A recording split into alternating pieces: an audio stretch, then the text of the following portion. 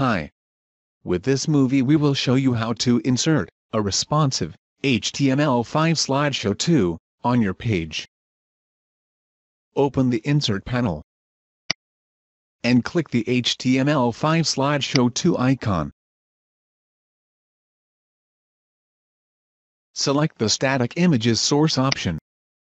We want to resize the images that will be imported in the slideshow so we leave the DMXzone Image Resizer option checked. We want to import a whole folder with images, so we click the Import Folder icon.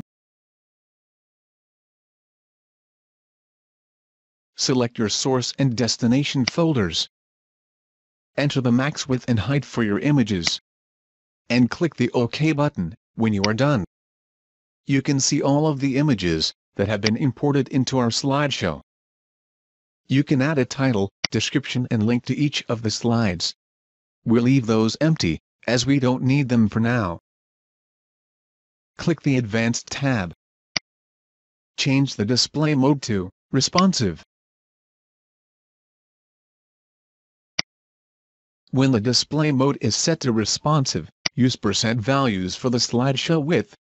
100% means that the slideshow will be as wide as the container it is placed into slideshow height should express the aspect ratio of your images. Here, you enter what percentage of the width should be the height. You can see some examples of the most commonly used aspect ratios and their percent values in the yellow help section of the HTML5 slideshow 2 interface.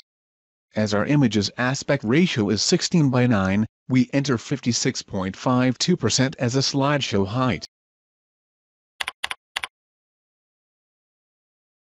Select one of the design presets.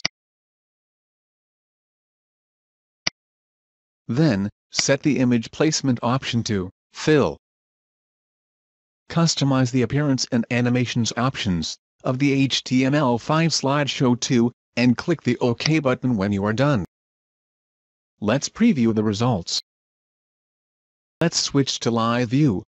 We can change the display mode to desktop, tablet, and phone in order to see how our responsive HTML5 slideshow 2 looks on different screen sizes.